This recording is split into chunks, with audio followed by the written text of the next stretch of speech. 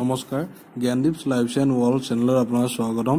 আজি আপোনালোকক মই দেখুৱাব ওলাইছোঁ নিপিয়া ঘাঁহৰ খেতিৰ বিষয়ে আৰু নিপিয়া ঘাঁহৰ খেতি কেনেকৈ ৰোপণ কৰে নিপিয়া ঘাঁহ আৰু তাৰ ষ্টিকবিলাক ইয়াত দেখা পাইছে মোৰ হাতত এইটোৱে হৈছে তাৰ ষ্টিক তেনেকৈ এইটো সঁচেই হয়। আৰু ইয়াৰ কোনো ধৰণৰ গুটি নাপায় আপোনালোকে আৰু এইটো কেৱল ইয়াৰ এনেকুৱা দাণ্ডা থাকে শ্লিপ থাকে ষ্টিক হয় এইবিলাক একো একোডাল আৰু এনেকুৱা ধৰণৰ গুৰি পৰা তেনেকৈ তলৰ পৰা আপোনালোকে সঁচ ৰাখিব পাৰে তেনেকৈ আৰু সেইটো তেনেকেই হয়। আৰু ইয়াৰ কোনো ধৰণৰ গুটি নাপায় আপোনালোকে আপোনালোকে ক'ৰবাত বজাৰ বা অন্য অনলাইন বা য'তেই নহওক গুটি পায় বুলি কয় কিছুমানে কিন্তু সেইটো কোনো পধ্যেই ইয়াৰ গুটি নহয়। আৰু মই পাছত নেক্সট ভিডিঅ'ত দেখুৱাই দিম ইয়াৰ এটা ফুলৰ দৰে ওলায় কিন্তু তাত কোনো ধৰণৰ গুটি নাথাকে। আৰু এইটো গুটি কেতিয়াও নাপায় আপোনালোকে আপোনালোকে কেৱল ইয়াৰ আপোনালোকে সঁচ পাব আৰু সঁচটো আপোনালোকে এনেকুৱা দেখিছে মোৰ হাতত সেই তেনেকুৱা ধৰণৰ সঁচেই পাব। আৰু যিসকলক লাগে মই দিম আৰু বৰ্তমান মই দিছোঁ বহুতক। আৰু মোৰ পৰা লৈও গৈছে আহি আৰু বহুতক মই ডেলিভাৰীও দিছোঁ বা বাই পষ্ট কৰি হ'লেও মই দিছোঁ তেনেকৈ। আৰু বহুতো ছাবস্ক্ৰাইবাৰে মোক সুধি আছে যে কেনেকৈ নিপিয়া ঘাঁহ লগায় আৰু কেনেকৈ ৰোপণ কৰিব লাগে সেইবাবে মই আজি ভিডিঅ'টো বনালোঁ যাতে আপোনালোকে দেখা পায় কেনেকৈ ৰোপণ কৰিব লাগে। আৰু এয়া এতিয়া দেখিছে এয়া কাটা হৈছিল নিপিয়া ঘাঁহ এতিয়া অলপ আগত দেখা পালে এই জোপোহাটো। আৰু এয়া দেখিছে এনেকৈ কেইদিনমান পাছতে আকৌ এইটো ফাৰ্ষ্ট কাটিং হৈছিল কটাৰ পাছত। আপোনাৰ তেনেকৈ আকৌ গজালি মাৰি আছে। কাৰণ এইটো এক বছৰত আপোনালোকে সাতৰ পৰা আঠবাৰলৈকে আপোনালোকে এইটো কাটিব পাৰিব। আৰু এইটো এবাৰ যদি ৰোপণ কৰে আপোনালোকে ভালকৈ তেনেহ'লে আপোনালোকে কমেও আপোনালোকে ছয় বছৰলৈকে কোনো চিন্তা নাই। আকৌ এইটো ৰুব ধৰক এইটো কাটি থাকিব আকৌ আহি থাকিব। এমাহ এবাৰ কাটিলে আকৌ দুমাহৰ পাছত আকৌ সিমানেই ওখ হ'ল আকৌ কাটি গৰুক খোৱালে ছাগলীক খোৱালে। তেনেকৈ হয় আৰু এতিয়া চাওক মই ৰোপণ কৰিছোঁ এয়া। আৰু এনেকৈ মাটিটো খান্দি ল'ব। আৰু আপোনালোকৰ ইয়াত গোবৰ দি ল'ব শুকান গোবৰটো। আৰু লগতে এতিয়া বতৰ বৰষুণ বতৰ সেইকাৰণে তথাপিও মই দেখুৱাইছোঁ আপোনালোকক ইয়াত শুকান গোবৰ গোবৰবিলাক চব ভিজিয়ে গ'ল। আৰু তথাপিও মই অলপ মাটিটো সাৰুৱা সেইবাবে মই এতিয়া বৰ্তমান গোবৰ দিয়া নাই ইয়াত আগতে আছিল অলপ গোবৰ। আৰু এতিয়া ইয়াত দেখা পাইছে মই কেনেকৈ ৰুব লাগে এনে গাঁতটো কৰি ল'ব। আৰু নিপিয়া ৰুওঁতে এটা কথা আছে মই দেখাই ল'ম। আপোনালোকে আগ গুৰিটো কেনেকৈ চিনি পাব সেইটো চাব এতিয়া মই দেখুৱাই দিম ভিডিঅ'টোত।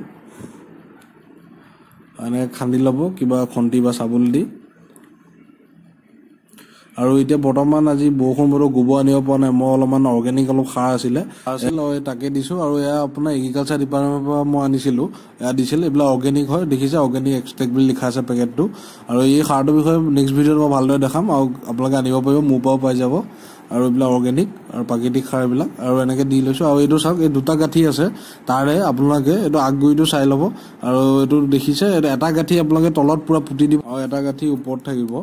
আৰু আপোনালোকে এনেকৈ মাটি দি দিব আৰু গাঁঠিটো এটা চিন পাব যিটো পকা আপোনালোকে এটা কথা এই ঘাঁহটো আগগুৰিটো মই কৈ দিছোঁ যাতে ইয়াৰ তলটো আপোনাৰ সৰু হয় তলৰ গাঁঠিটোৰ পৰা তলৰখিনি সৰু থাকিব আৰু ওপৰটো মোটা থাকিব।